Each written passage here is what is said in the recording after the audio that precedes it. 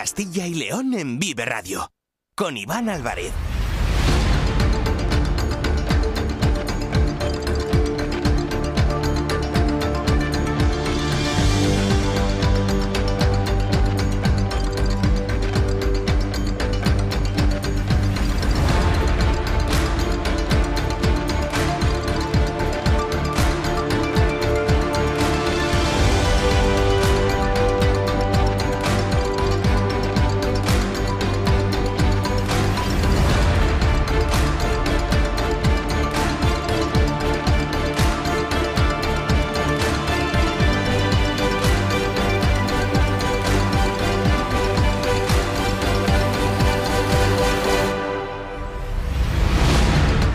¿Qué tal? Muy buenas tardes, bienvenidos, bienvenidas a Vive Castilla y León. Es la una y un minuto de la tarde, es eh, jueves 11 de abril de 2024 y vamos en directo hasta las 3 en punto, en esta sintonía, en la sintonía de Vive Castilla y León, con muchos asuntos, con muchas historias y con muchas cuestiones que son noticia hoy en nuestra comunidad, que están pasando a lo largo de la mañana de este jueves y que también van a ocurrir durante la tarde del día de hoy. Todo ello se lo vamos a contar durante estas dos próximas horas de programa. Nos pueden escuchar a través de la FM de toda la vida en nuestra página web www.viveradio.es en todas nuestras plataformas de streaming y de podcast y en las redes sociales de Vive Radio. Lo hacemos como siempre con el sonido perfecto de nuestro compañero en la parte técnica, el jefe de todo esto que hace que cada día suene a la perfección, Ángel de Jesús.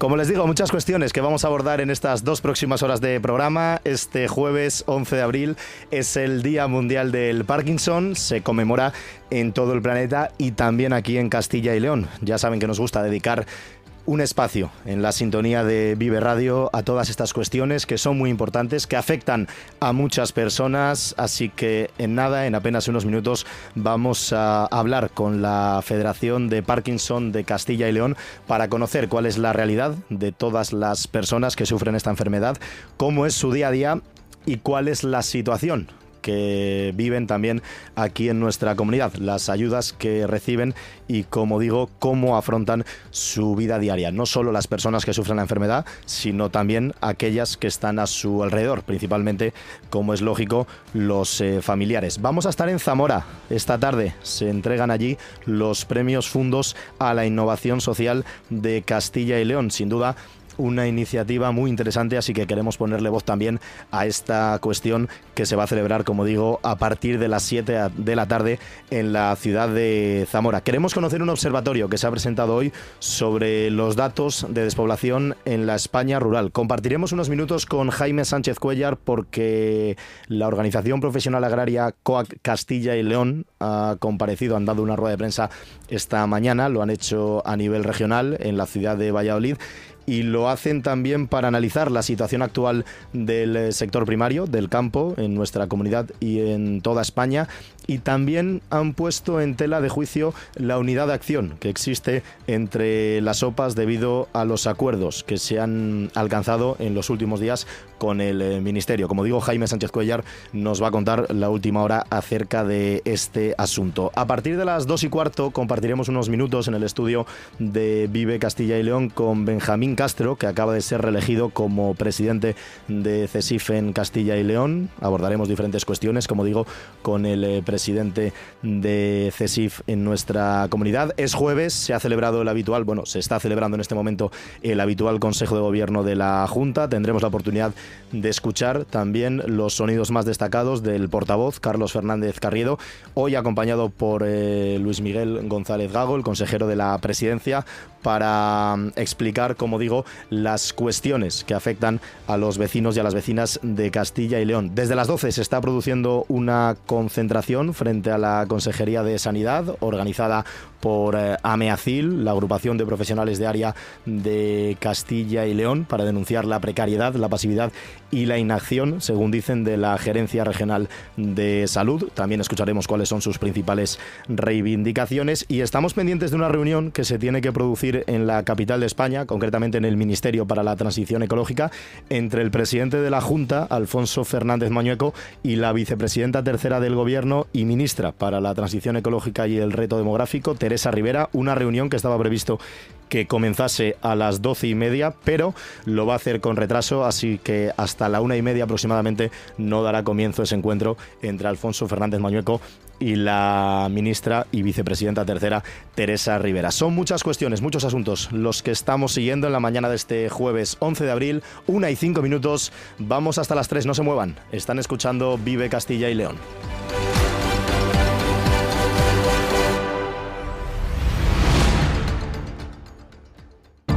Vive Castilla y León en Vive Radio. Con Iván Álvarez. La enfermedad de Parkinson es una enfermedad de tipo degenerativa que afecta al cerebro. Es crónica, es, no tiene cura. Lo que hace es que a la persona que tiene Parkinson le, le, le afecta más en lo que se refiere al tema del movimiento. Todo lo referido al movimiento, ahí es donde está el Parkinson. Es muy duro, la verdad que sí. Vivir con Parkinson es muy duro. Si cambias el habla, será nuestro lenguaje. Libera el equipaje, que ya lo llevo yo. Si tiembla tu risa, será que ríes fuerte. Será que entre la gente tu silla es la mejor y ganas carreras y todo. Según la Real Academia Española de la Lengua, valientes es un adjetivo que define a aquellas personas que actúan con valor y con determinación ante situaciones arriesgadas o difíciles. Valientes, así se titula la canción que estamos escuchando, un tema que el artista Andrés Suárez dedica a las personas con Parkinson, porque hoy 11 de abril es el Día Mundial del Parkinson. Escuchábamos al inicio de la canción a una mujer referirse al Parkinson en los siguientes términos. El Parkinson es una enfermedad de tipo neurodegenerativa que afecta al cerebro y al movimiento. Es crónica y no tiene cura. Y terminaba su exposición con esta frase. Vivir con Parkinson es muy duro. El Parkinson es la segunda enfermedad neurodegenerativa más frecuente, solo por detrás del Alzheimer. Los síntomas aparecen de forma progresiva, afectando algunas zonas del cuerpo como las manos, los brazos, las piernas y la cara. Luego se extiende a todo el cuerpo, causando rigidez motora, temblores, problemas de equilibrio, coordinación y dificultad para caminar. El Día Mundial del Parkinson es una oportunidad para aumentar la conciencia pública sobre esta enfermedad, destacar la importancia de la investigación para encontrar tratamientos más efectivos y mejorar la calidad de vida de las personas afectadas. También es un momento para apoyar a aquellos que viven con Parkinson y a sus familias y para promover la solidaridad y la comprensión hacia quienes enfrentan esta enfermedad. Según datos de la Organización Mundial de la Salud, la enfermedad de Parkinson afecta a una de cada 100 personas mayores de 60 años, es decir, más de 6 millones de personas en todo el mundo. En España y en Castilla y León no hay datos oficiales sobre el Parkinson, aunque las estimaciones hablan de una cifra entre 120 y 150 mil personas afectadas en todo nuestro país. Vamos a saludar a Teresa Martín, gerente de FEPACIL, la Federación de Parkinson de Castilla y León. Hola Teresa, muy buenas tardes. Hola, buenas tardes. Es 11 de abril, es el Día Mundial del Parkinson y desde la Federación de Castilla y León se han organizado actividades para conmemorar esta fecha. Cuéntenos cómo se está desarrollando la mañana y lo que tienen preparado para el día de hoy. Bueno, es una mañana con las agendas llenas en todas las asociaciones provinciales. Eh, el acto fundamental que organiza la Federación hoy en todas las provincias es una plantación de tulipanes. El tulipán es el símbolo internacional del Parkinson eh, y lo que pretendemos es simplemente darnos visibilidad, eh, que la gente sepa que hoy es el Día Mundial, que se acerque a la realidad del, Parkinson en nuestra comunidad, eh, en fin, romper un poco con los mitos también, porque esta es una enfermedad llena de mitos y, acercar nuestra realidad a la población en general. Es una enfermedad, como usted dice, eh, llena de mitos y también llena de muchas incógnitas, ¿no? Porque eh, esta mañana cuando hablaba con usted, para terminar de, concretar la entrevista, me comentaba que tampoco se tienen datos oficiales en Castilla y León acerca de cuántas personas eh, tienen Parkinson, pero aproximadamente, haciendo un, bueno, un cálculo aproximado, como digo, ¿cuántas personas pueden sufrir Parkinson en nuestra comunidad? Pues en la comunidad, como tú decías, estamos en torno al 1 o el 2% de la población. Eh, supone un número muy importante de, personas afectadas lo que sí tenemos son datos de, los socios que tenemos en las 11 entidades de federación, de las personas que atendemos en las 11 entidades y los números son relevantes. Atendemos, tenemos casi 3.000 socios en todo Castilla y León repartidos entre las 11 entidades. Atendemos a casi 900 personas con Parkinson. Eh, son números relevantes, importantes y son números eh, que previsiblemente eh, van a crecer mucho. probablemente en el año 2040 estemos duplicando o incluso triplicando la cifra de personas con Parkinson. Son mm. números que asustan y hay que empezar a, tomar decisiones.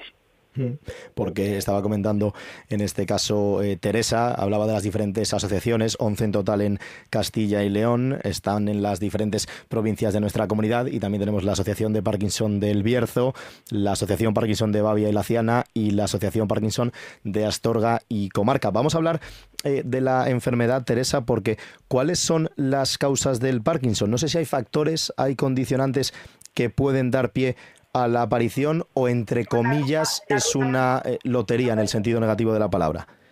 Bueno, pues eh, otra de las grandes incógnitas es cuál es la causa. no lo conocemos, no lo sabemos. Solo sabemos que cada uno tiene una predisposición genética, como para cualquier otra enfermedad, y eso, sumado a otros factores, eh, son los que hacen que se desencadene la enfermedad o no. Eh, ¿Cuáles son esos factores? Pues hay muchos, muchos estudios, muchas teorías, eh, todo hipótesis. Probablemente factores ambientales, ¿no? Esa es la teoría que ahora parece estar mm, mm, detrás de la explicación del Parkinson, ¿no? La exposición a pesticidas, por ejemplo pero lo desconocemos y por eso no podemos curarlo, porque no sabemos cuál es la causa, qué es lo que está pasando ahí para poder solucionarlo. No hay cura posible en este momento, pero ¿cuáles son los tratamientos disponibles para combatir el, Parkinson y cómo se puede ayudar a controlar esos síntomas eh, tan negativos y que afectan de una manera eh, bueno, pues muy importante a las personas? Bueno, el tratamiento fundamental es farmacológico y supone la administración a la persona con Parkinson de eso que su cerebro deja de producir, que es la dopamina. Pues el tratamiento médico supone básicamente eh, administrarle la dopamina de forma química a, la persona con Parkinson.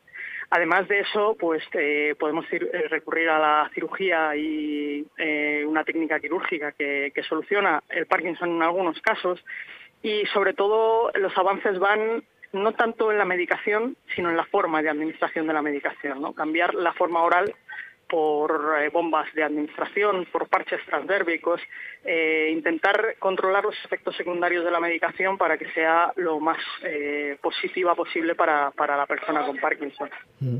No sabemos exactamente cuáles pueden ser las causas, lo acaba de, comentar usted, pero sí que existen, pregunto, no sé si, si existen estrategias de prevención o medidas de estilo de vida que puedan ayudar a reducir o a prevenir, entre comillas, el riesgo de acabar desarrollando Parkinson a lo largo de nuestras vidas? Pues yo creo que no. Eh, evidentemente una vida sana eh, hace que tengas menos posibilidades de cualquier cosa, pero, pero no hay eh, unas condiciones de vida que te garanticen o que te ayuden a tener menos opciones. Yo creo que que si las hay, eh, todavía no las conocemos, por lo que te digo, ¿no? Como no conocemos la causa, todo lo demás en torno a la enfermedad eh, son hipótesis. Mm. El Parkinson afecta a zonas del cuerpo como las manos, como los brazos, las piernas, eh, la cara, se extiende a todo el cuerpo, causa rigidez motora, temblores, problemas de equilibrio, de coordinación, dificultad para caminar. ¿Cómo es la vida? ¿Cómo es el día a día de una persona con Parkinson? La vida es complicada. Em, pero con la medicación y las terapias que ofrecemos las entidades, todo es un poco más sencillo.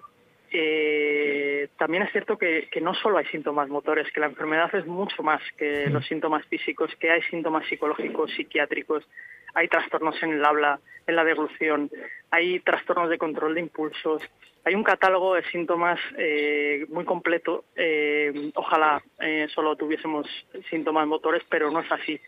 Mm. y la vida es cada día, cada día es uno nuevo y así tienen que así eh, lo viven lo, las personas con Parkinson, eh, porque, porque cada día es uno distinto y muchas veces dentro del mismo día hay momentos muy distintos porque la enfermedad es, es así.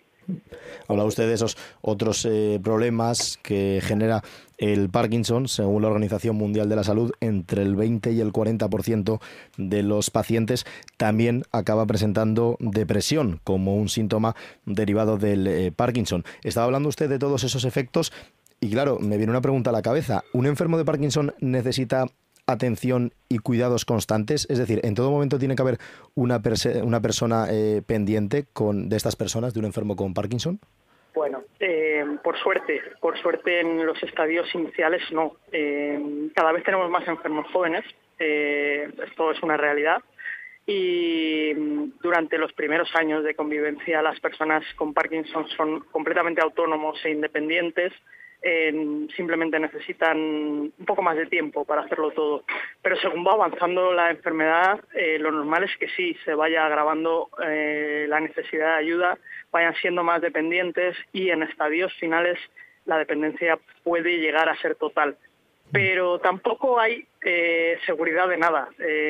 cada paciente es uno con su propia enfermedad y su propia evolución cada vez hay más personas jóvenes, lo acaba de comentar usted, porque claro, es una enfermedad que según los datos afecta principalmente a personas mayores de 60 años o a partir de los 60 años, pero es importante enviar ese mensaje, ¿no? Y que la sociedad lo escuche y sea consciente de ello. El Parkinson también puede aparecer en personas más jóvenes. No sé si hay una edad estimada o como estamos comentando, al igual que los síntomas, puede aparecer en cualquier momento y sin eh, previo aviso. Pues puede aparecer en cualquier momento, sin previo aviso. Eh, cada vez hay más enfermos de inicio temprano, que son aquellos que tienen menos de 65, y tenemos pacientes, personas con Parkinson, incluso por debajo de los 40, y cada vez más entre, 40, entre 50 y 60, cada vez eh, atendemos a más personas en, esa, en, esa, en esas edades. Eh, esas edades necesitan una atención distinta y, y nos hacen especializarnos un poco más ¿Y el Parkinson diferencia entre hombres y mujeres o afecta de la misma manera a ambos géneros? Prácticamente en el mismo porcentaje. Hay alguna pequeña diferencia, pero no hace diferencia. Le da lo mismo a un hombre que a una mujer. Hmm. Y no sé si porque claro, siempre que hablamos lógicamente de, enfermedades y encima enfermedades de este tipo en las que eh, no se ha encontrado todavía una cura, hay que poner el foco lógicamente en la inversión y en la investigación, que los gobiernos, que las instituciones sigan apostando, sigan destinando recursos económicos para que se pueda investigar y para que se pueda avanzar lógicamente en, eh, pues como digo, poder ayudar a todas estas personas. ¿En qué punto nos encontramos actualmente en España respecto, ya no sé si en España o a nivel global, porque a lo mejor es una, eh, un término que hay que hablar, ¿no? Eh, en todo el mundo, pero ¿en qué punto nos encontramos exactamente en cuanto a la investigación del Parkinson para intentar ganar la batalla y poder alcanzar, no sé si una cura, pero sí eh, que las personas que lo sufren lleven una vida, pues, no sé, con calidad y que no sufran tantos efectos y de una manera tan drástica? La investigación en Parkinson, como en casi todas las patologías, sufrió un parón eh, casi total durante la pandemia y poquito a poco eh, se van eh, reanudando estudios y se va haciendo alguna algún avance, pero pero pocos. Pero es cierto que nuestras esperanzas están puestas ahí. hay que investigar, hay que seguir estudiando y es la, es la única opción que tenemos, la investigación y descubrir cuál es la causa para intentar poder curarla. Mm. Y en este caso, eh, FEPACIL, la Federación de Parkinson de Castilla y León, junto a sus 11 asociaciones provinciales, eh, reciben la ayuda suficiente por parte pues, eh, del Gobierno de la Junta, de los diferentes ayuntamientos, diputaciones y demás en la comunidad, o se sienten un poco, no sé si decir, abandonados o que les falta apoyo por parte de estas instituciones. Bueno, tenemos ayudas, efectivamente, pero nunca son suficientes. Eh, a nivel provincial, todas las entidades reciben ayudas tanto de la Junta como de las Diputaciones y del Ayuntamiento y FEPACIL, eh, fundamentalmente de la Junta de Castilla y León. Eh, cuanta más ayuda tengamos, más cosas haremos. eso está claro. luego hay que trabajar para, para demostrar que ese dinero está bien invertido y que merece la pena que la Administración eh, confíe en nosotros. Y en eso es en lo que estamos en la Federación, ¿no? Eh, inmersos en un proceso de trabajo de mejora continua para, para defender los intereses de, de, las personas con Parkinson de Castilla y León. Mm, pues lógicamente había que dedicar estos minutos en la sintonía de Vive Radio, de Vive Castilla y León, para conocer un poquito mejor esta enfermedad que es el Parkinson en este Día Mundial 11 de abril, que se celebra lógicamente eh, cada año y lo hemos hecho de la mano de la gerente de FEPACIL, la Federación de Parkinson de Castilla y León, Teresa Martín, que nos ha explicado cómo se vive esta enfermedad cuál es el número, aunque no hay una cifra exacta, pero aproximado en nuestra comunidad de personas afectadas, a cuántas les ofrecen servicios, no solo las personas que lo sufren, sino lógicamente también sus familias que recurren a este tipo de federaciones y asociaciones. Así que ha sido un gusto, Teresa, compartir estos eh, minutos con usted, además en una jornada tan especial que están eh, plagada de actos durante la mañana, también durante la tarde. Así que le agradecemos que nos haya hecho un hueco para compartir estos minutos con los oyentes de Vive Radio, de Vive Castilla y León. Teresa Martín, muchas gracias y un fuerte abrazo. Pues muchas gracias a vosotros. Una y 21 minutos de la tarde, como les estamos comentando, Día Mundial del eh, Parkinson. Es una buena oportunidad esta fecha para aumentar la conciencia pública sobre esta enfermedad, poner el eh, foco en la importancia de la investigación para encontrar tratamientos más efectivos y sobre todo para intentar acercarnos a un tratamiento que permita mejorar la calidad de vida de todas las personas afectadas, que según datos de la Organización Mundial de la Salud son más de 6 millones en todo el mundo. Va a seguir creciendo esta cifra y unas 150.000 aproximadamente en España, un 1 o un 2% aquí en Castilla y León. Una y 22 minutos, seguimos hasta las 3. Muchas más cuestiones tenemos que acercarles en Vive Castilla y León.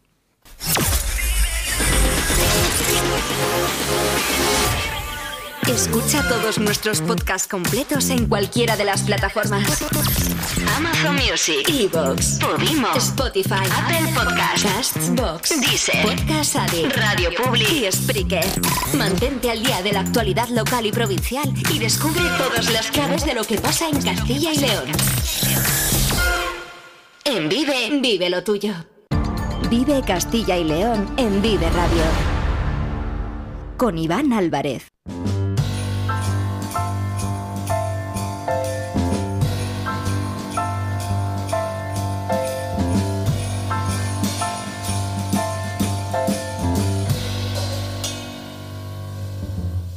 Label rings, are you listening? In the lane, snow is glistening. A beautiful sight, we're happy tonight. Walking in a winter wonderland. Gone away is a bluebird, here to stay. He's a new bird.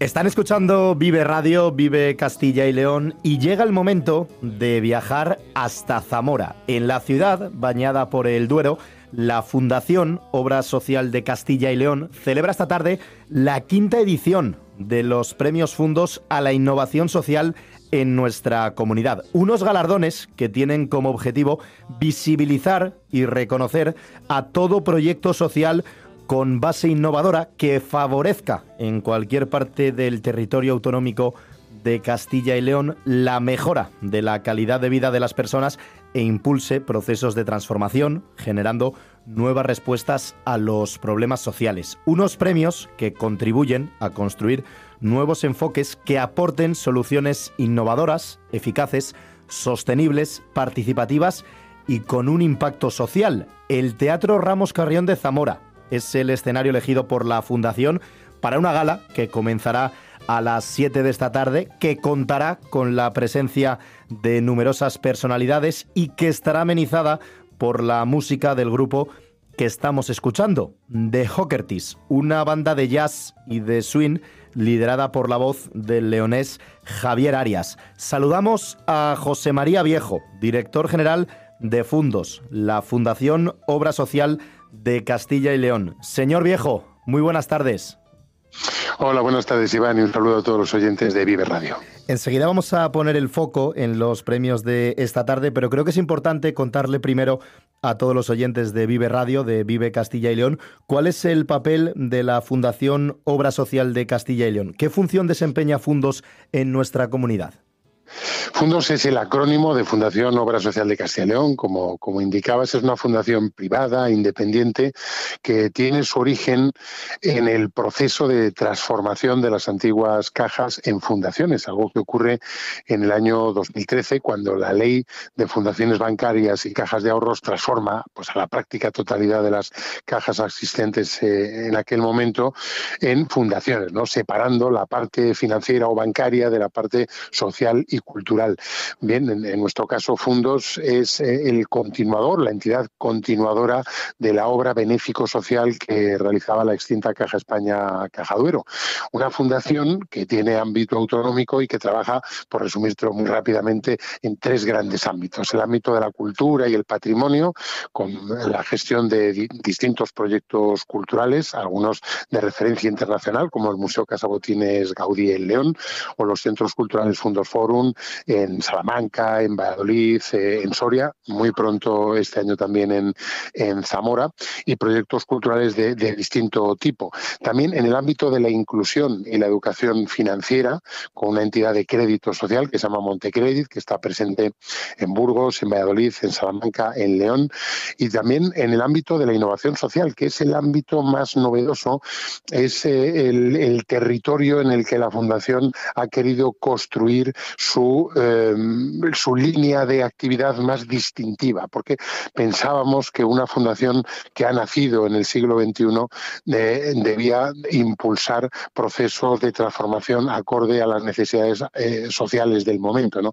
Y es cuando surgen distintas iniciativas, eh, significativamente eh, los premios fondos a la innovación social, que este año celebran la, la sexta edición, hoy entregamos la quinta, pero ya está convocada la sexta, y luego otro tipo de iniciativas como Hub Social, que es el Instituto de Innovación Social que promueve la, Fundación.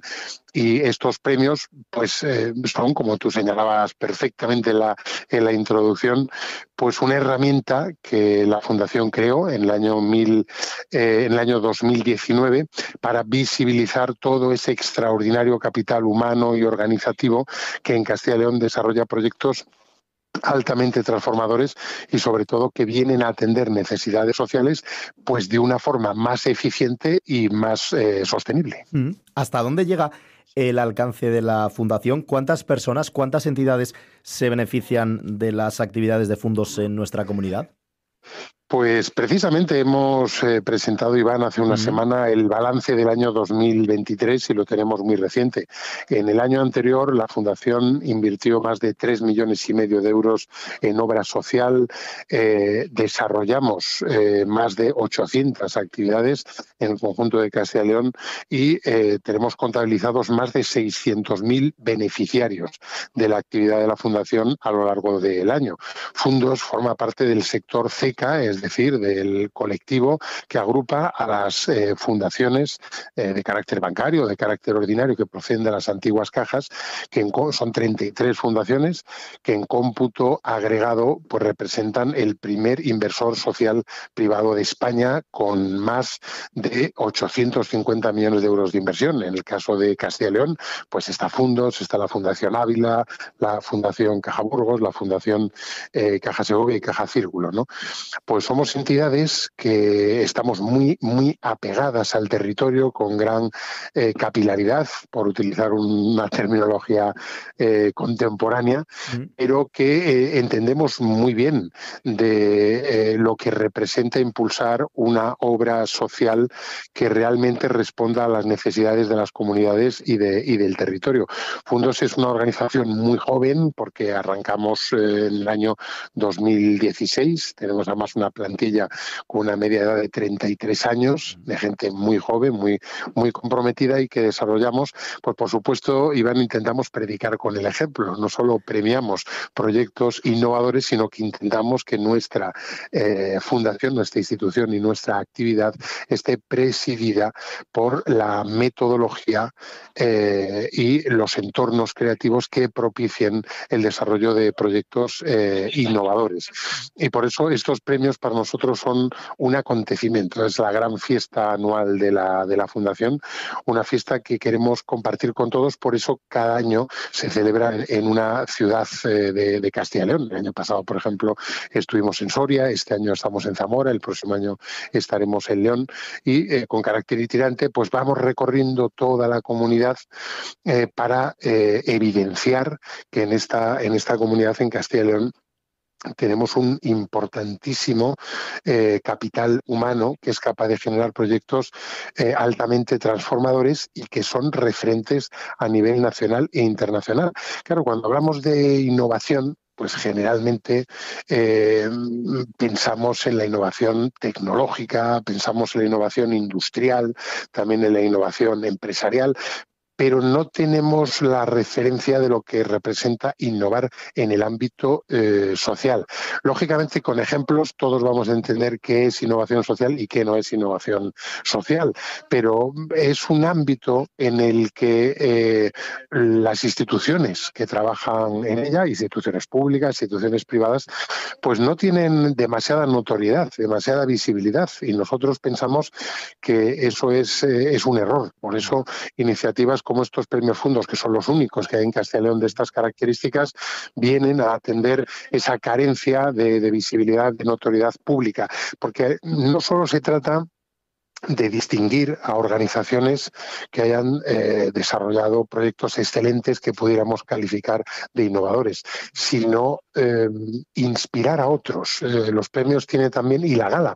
Por eso hacemos una gala que es un gran espectáculo, ¿no? Pues con, una gran presentadora, que en este caso es Teresa Viejo, que es uno de los rostros más, más célebres de la televisión en España, o una gran banda, un, un, gran espectáculo, porque necesitamos que la gala sirva para proyectar la imagen de ese trabajo que realizan los innovadores eh, sociales, porque ese, ese trabajo es muy motivador y es muy inspirador para que otros puedan seguir ese camino. Mm. ¿Cuántos asistentes va a haber esta tarde en el Teatro Ramos Carrión de Zamora? Bueno, pues esperemos que esté lleno. Tengo que decir, Iván, que la entrada es libre y gratuita. Tenemos muchísimos, tenemos muchísimos invitados, tenemos representantes de muchísimas instituciones que vienen de todo Castilla y León, también de otros puntos de, España. Y es una fiesta abierta. Por eso queremos que eh, Zamora, que la ciudad la viva, la viva con, con nosotros y que todo el mundo se sienta partícipe, por lo que te comentaba, de que es la fiesta de la innovación social, es la fiesta de la sociedad, es la fiesta de la ciudadanía participativa, activa, dinámica, la ciudadanía que se agrupa para generar cambios, transformaciones y avances sociales. Por eso las puertas del Teatro Ramos Carrión van a estar abiertas a partir de las seis y media de la tarde para que todo el mundo que quiera, el acceso es libre y gratuito, obviamente hasta completar el aforo, que es un teatro eh, muy grande. Quienes nos escuchan de Zamora o, quienes eh, nos escuchen desde otras partes, pero han disfrutado algún espectáculo en Ramos Carrión, pues harán que es un teatro de más de 800, 900 localidades que eh, esperemos que esté esta tarde lleno a rebosar. Estamos seguros de que así sea para que, bueno, pues vivamos esta, esta fiesta que está concebida pues como un espectáculo, ¿no? Pues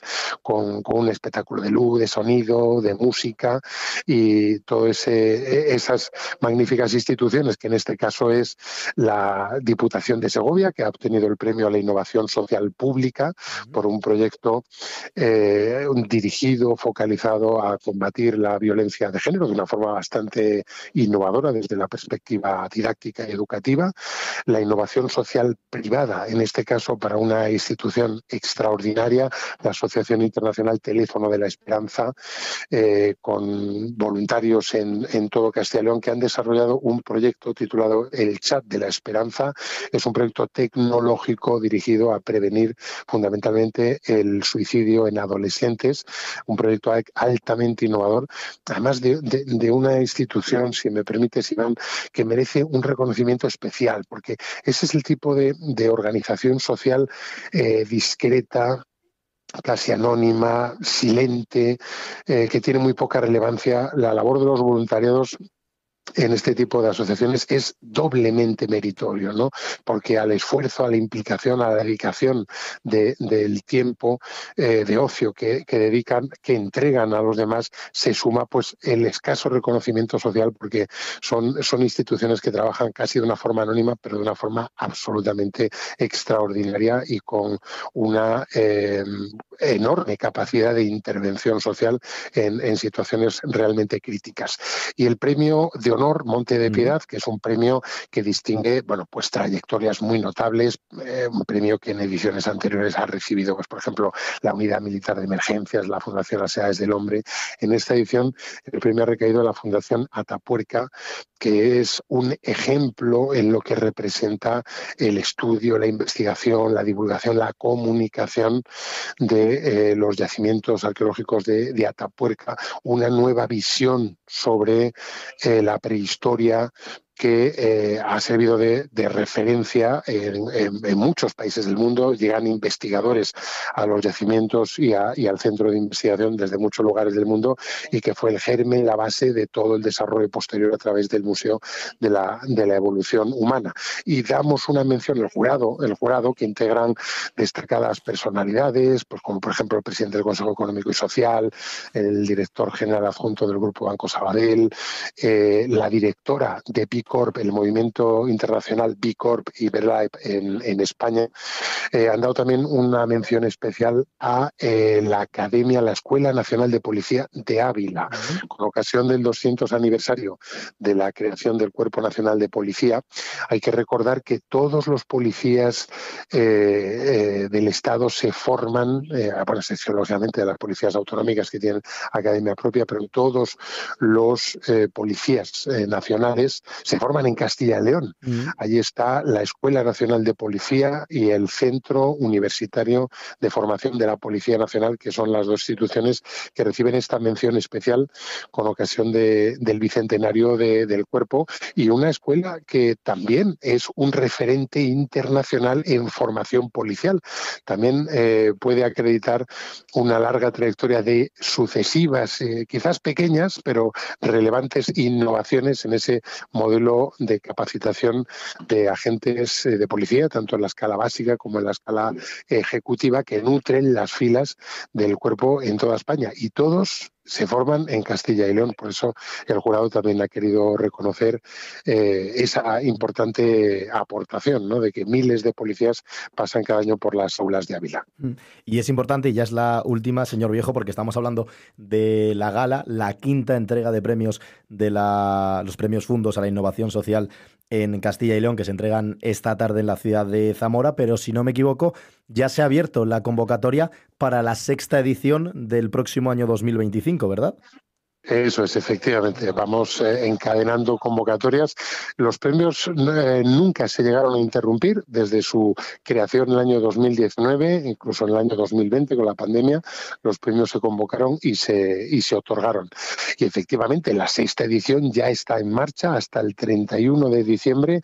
Todas las organizaciones, tanto públicas como privadas, eh, pueden optar a cualquiera de las tres modalidades. La de innovación social privada recibe un premio de 10.000 euros y, eh, bueno, pues todos reciben también una escultura magnífica de uno de los mejores escultores españoles, que es Amancio González, y la dotación económica que va para la innovación social eh, privada y, por, lógicamente, pues el enorme esfuerzo comunicativo que hace la Fundación, gracias, bueno, pues lógicamente también al apoyo de los medios de comunicación León como, como, como Vive Radio, que amplifican este mensaje de la, de la innovación y todas aquellas organizaciones que quieran conocer en detalle la convocatoria o que crean que pueden optar, pues en fundos.es barra premios tienen toda la información para la sexta edición que entregaremos pues también en los albores de la primavera el próximo año en, en León. Pues esa será la sexta edición, el próximo año 2025 en León. Antes hay que celebrar la fiesta esta tarde a partir de las 7 en el Teatro Ramos Carrión de Zamora, quinta edición de los premios Fundos a la innovación social en nuestra comunidad. Nos lo acaba de comentar eh, José María Viejo, director general de Fundos, la Fundación Obra Social de Castilla y León. Ese premio Fundos a la innovación social pública que va a ser para la Diputación de Segovia por ese programa destinado a combatir la violencia de género. El premio Fundos a la innovación social privada para el teléfono de la esperanza, ese chat de la esperanza que es tan importante para muchísimas personas en nuestra comunidad. Y el premio Fundos de Honor Monte de Piedad a la Fundación Atapuerca por su destacada labor durante sus 25 años de trayectoria. Señor José María Viejo, ha sido un verdadero placer compartir estos minutos con usted en Vive Radio, en Vive Castilla y León, y desearle la mayor de las suertes para que la gala de esta tarde se desarrolle de la mejor manera posible, que estamos seguros que va a ser eh, todo un éxito. Muchas gracias y enhorabuena por la labor que realizan. Pues muchas gracias, Iván, y un saludo a todos los oyentes de Vive Radio Castilla y León.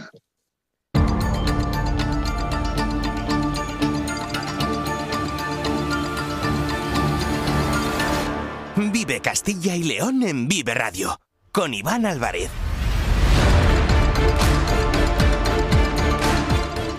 Una y 40 minutos de la tarde, faltan 20 para llegar a las 2. Esta mañana la organización profesional agraria COAC Castilla y León ha lanzado un mensaje que pone en tela de juicio la unidad que existe en este momento entre las OPAs de nuestro país. Ya hemos asistido a episodios en los que agricultores independientes se han desmarcado de las organizaciones profesionales agrarias, llegando a constituir nuevas formaciones como de Caleón o como los agricultores independientes. Pero ahora parece que llega a existir incluso cierta división entre las propias OPAs. Director de Vive el Campo, Jaime Sánchez Cuellar. Cuéntanos, buenas tardes. Muy buenas tardes, Iván. No solo lo parece, sino que al menos desde COAG, Castilla y León, evidencian que se ha roto la unidad de acción entre las organizaciones agrarias. De hecho, han felicitado de forma irónica al ministro de Agricultura, Luis Planas, por conseguir romper la unidad de acción en el campo y dividir a las organizaciones agrarias. Hay que recordar que el documento, la propuesta con las 43 medidas que había presentado el Ministerio de Agricultura ha sido apoyado, firmado por UPA y por Unión de Uniones y sin embargo COAG y Asaja pues no lo apoyan, no lo han firmado y esto ha provocado esta eh, separación. No entienden desde COAG por qué el ministro ha tenido tantas prisas por firmar el documento. Esto ocurrió el miércoles de la semana pasada y eh, lo que ha generado es una pérdida de confianza en esta organización. Eh, Luis Planas aseguran en COAG solo se puede poner la medalla de romper la unidad y de hacerse la foto famosa, han dicho, en referencia a la que se hizo con el líder de Unión de Uniones, Luis Cortés, al que se le ha mencionado en la rueda de prensa junto a nombres como el de Rodrigo Rato o Bárcenas, y se ha recordado su paso por la cárcel, que fue condenado por estafa. Así que este es un poco el escenario, la situación. Han sido muy críticos con UPA. Recordemos que comparten un acuerdo electoral en Castilla y León con, esta, esta, con esa alianza por el campo para concurrir a las elecciones. Dicen que esa alianza va a continuar, pero han sido especialmente críticos con Unión de Uniones. Aquí en Castilla y León, la UCCL, la Unión de Campesinos, a la que acusan de haber de dar ejemplos de democracia que luego no llevan a la práctica. Lorenzo Rivera, coordinador de COAG, dice que directamente el ministro ha jugado sucio que hay que pedir muchas explicaciones, entre, entre otros al primero al ministro, porque ha jugado sucio, no ha sido claro en, la, en las propuestas y creo que eh, nosotros desde el principio como COA hemos sido honestos, trabajar por el sector y desde luego él ha conseguido lo que en mucho tiempo muchos ministros no han hecho o han intentado es eh, dividirla o separar, acabar con la unidad de acción que ha habido durante este tiempo de movilizaciones en separar eh, las organizaciones agrarias. Respecto al contenido del documento de esas 43 medidas, eh, Castilla y León asegura que están de acuerdo, por ejemplo, con las medidas de flexibilización de la PAC, pero que todas ellas son medidas que vienen de Europa, no son eh, alternativas que haya puesto el Ministerio de Agricultura encima de la mesa. Respecto al resto de temas relacionados con los mercados, con la producción agraria, con los seguros agrarios, eh, financiación, fiscalidad, regadío, el lobo, por ejemplo, la sanidad animal, la situación de la ganadería o las cláusulas espejo, eh, esta organización asegura que solo hay propuestas eh, del Ministerio, que no hay medidas concretas para su aplicación y que, por tanto, ellos van a seguir negociando con el Ministerio en las mesas de, negociación. Ellos van a continuar con esa negociación con el Ministerio y también va a seguir el calendario de movilizaciones en la calle. No de forma inmediata, porque ahora las labores en el campo apremian, pero, por ejemplo, quizás en el mes de mayo.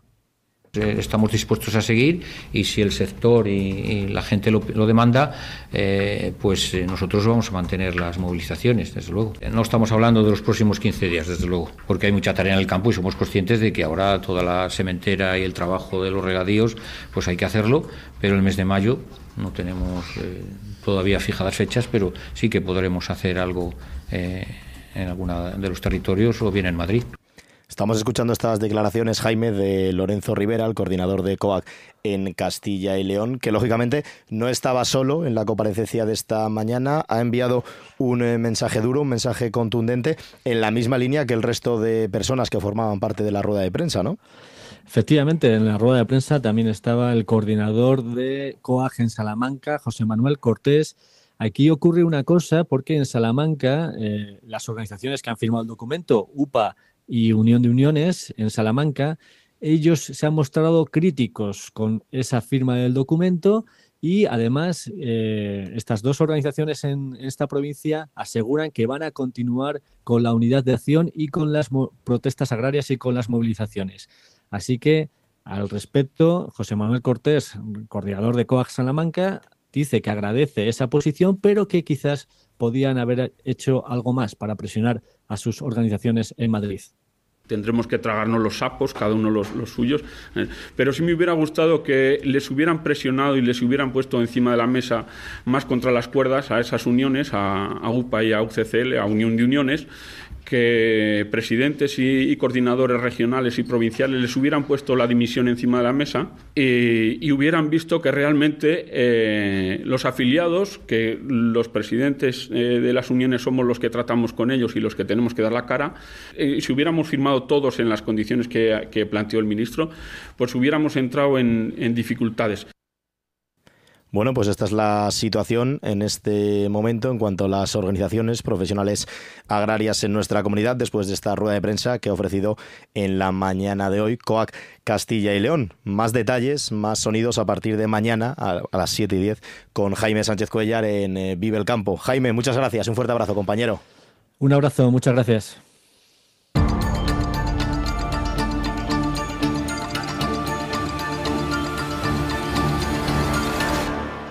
Castilla y León en Vive Radio, con Iván Álvarez.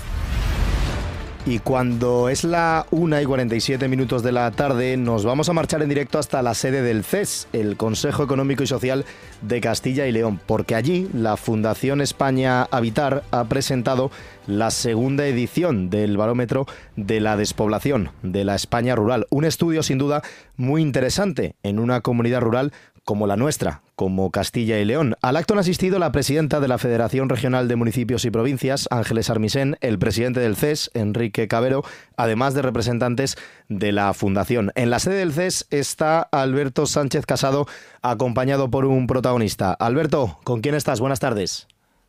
Buenas tardes, Iván. Sí, hoy la Fundación España Vitar ha presentado el segundo barómetro de la despoblación de la España rural, un estudio para conocer la situación actual del medio rural, siendo, como todos sabemos, Castilla y León una de las comunidades que mayor espacio rural presenta de toda España. Y para conocer un poco más a fondo de, este estudio, Iván, vamos a hablar con Javier Sánchez, secretario general de la Fundación España Vitar.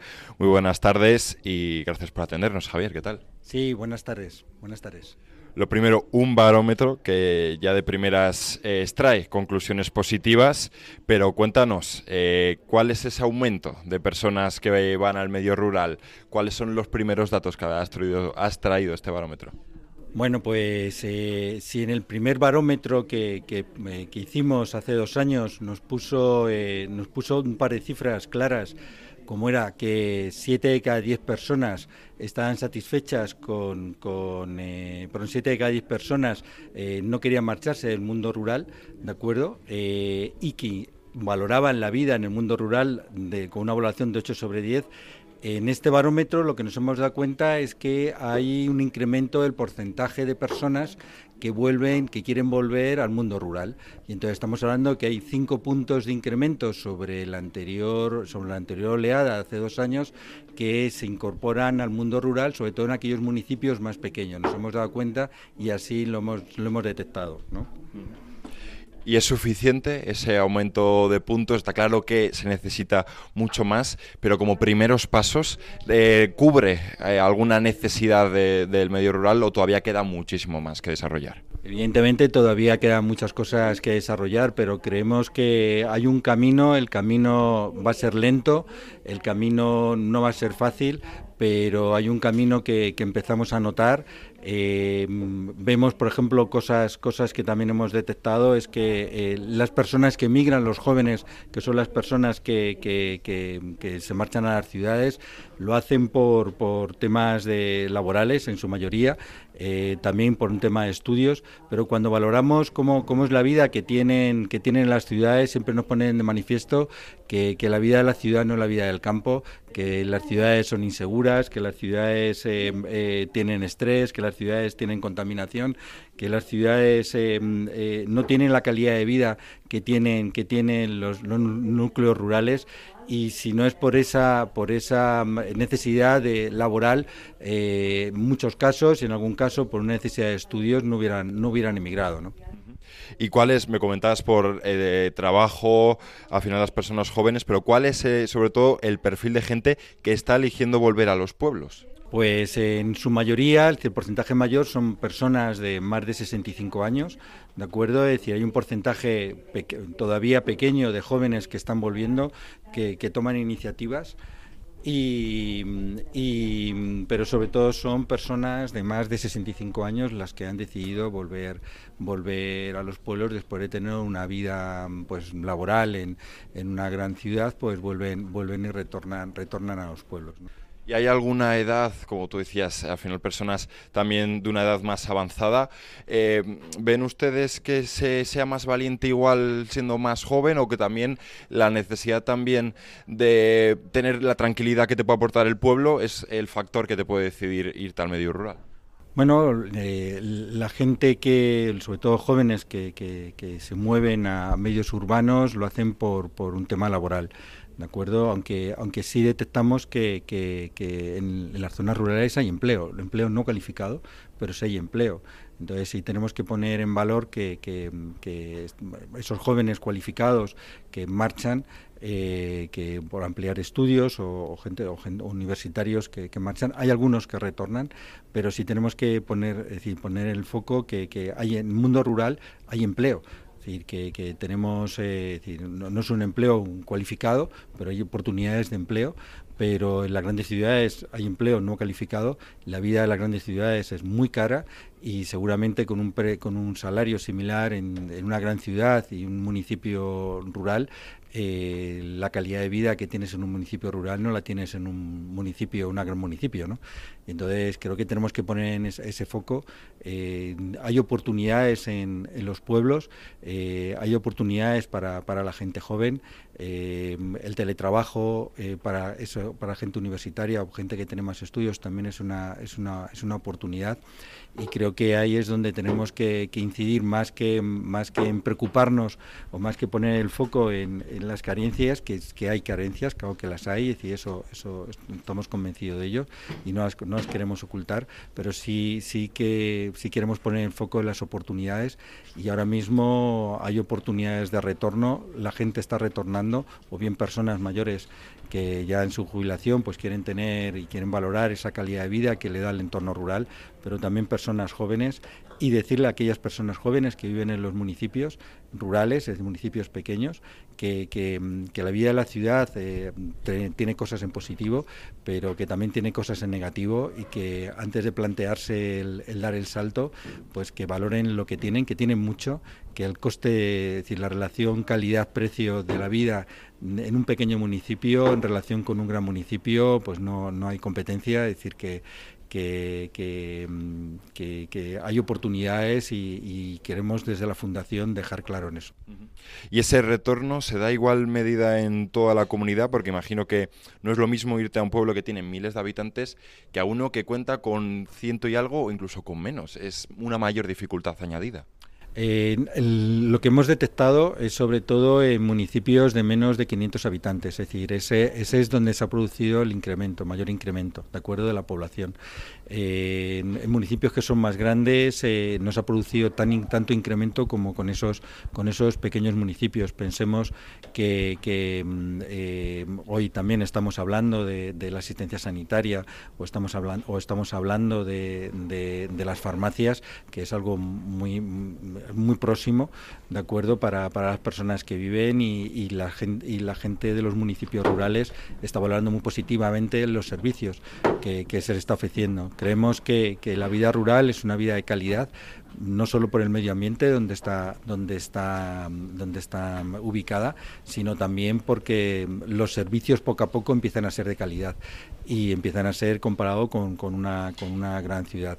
Lo que no podemos evitar es que todos los servicios los tengamos en, en, un municipio de 500 habitantes o de 1000 habitantes. Tenemos que pensar que los municipios tenemos hay que trabajar a nivel de las comarcas las o unidades. Eh, la comarca entendemos que es la unidad eh, territorial mejor para poder agrupar todos los servicios. Debemos de pensar en una gran ciudad, el, desplazarte a, un hospital o desplazarte a un servicio médico, etcétera, o a estudios, va a requerir varios kilómetros de distancia y, más seguramente más de una hora. Y esos municipios con un ámbito de una comarca pueden compartir esos servicios comunes y, creemos que, es una de las bases de la calidad de vida que tienen los municipios rurales. Me hablabas de, la importancia de los servicios. Eh, al final también eso, qué importante es esa asistencia sanitaria, eh, la accesibilidad y sobre todo también en el aspecto tecnológico, la necesidad de una conectividad que permita que fomenten también el, teletrabajo o que todo el mundo pueda desarrollar su actividad económica, su actividad laboral en cualquier sitio, en cualquier mm, pueblo del medio rural. Así es, eh, el, eh, el, teletrabajo, Internet, eh, es una herramienta accesible para todos. Es decir, tenemos que trabajar de dos maneras. Tenemos que trabajar el acceso a Internet a las personas mayores, ¿de acuerdo? Es decir, en, los municipios urbanos las, las, personas mayores siempre tienen limitaciones al acceso a Internet. de conocimiento en los municipios rurales se, se, incrementa, se incrementa esa, esa dificultad, esa brecha y estamos planteando y estamos estudiando medidas para para, limitar esa brecha. Y luego la accesibilidad universal, es Internet tiene que ser universal para, para todos. Poco a poco el acceso a Internet eh, se está ampliando, bien sea por, por, por, fibra o bien sea por satélite. Ahora mismo prácticamente casi todo el territorio eh, de, la comunidad eh, de Castilla y León y prácticamente casi toda España tienen, tienen ese, acceso a Internet, aunque es verdad que en algunas, en algunas zonas pues siempre pues no llega con toda la con toda, no llega a 5G, llegará a 4G o no llegan con todos los datos y, estamos viendo, estamos mapeando dónde, dónde se están produciendo esas, esas zonas un poco más oscuras, pues para, para plantearse la administración y que puedan trabajar ellos directamente, ¿no? Pues muchas gracias Javier Sánchez Oliva, secretario general de la Fundación España Habitar. Muchas gracias de verdad por haber hablado con nosotros, con Vive Radio. Un placer. Pues muchas gracias, muchas gracias a vosotros por, por venir, por escucharnos y por ser altavoz de que el mundo rural hay muchas cosas positivas y que entre todos tenemos que ponerlo en manifiesto. Ya las has escuchado, Iván, las primeras conclusiones de esta segunda edición del barómetro de la despoblación de la España rural, con el que extraemos ese, esa conclusión, ese análisis de que se va por, buen camino hacia que el medio rural eh, recupere eh, eh, lo que era antes y siga siendo atractivo para la gente, pero todavía quedan muchos pasos por dar. Le agradecemos, como es lógico, a nuestro compañero Alberto Sánchez Casado esta conexión desde la sede del CES, del Consejo Económico y Social de Castilla y León, y también a Javier Sánchez Oliva, el secretario general de la Fundación España Vitar, que nos haya atendido en la mañana en la que han presentado este segundo barómetro de la despoblación de la España rural. Una cuestión sin duda muy importante en una comunidad rural como es la nuestra, como es Castilla y León. Nos vamos acercando a las 2 de la tarde, falta un minuto, es la 1 y 59, así que les vamos a dejar en compañía de los servicios informativos de Vive Radio y nosotros volvemos a partir de las 2 y cuarto con más Vive Castilla y León. No se muevan.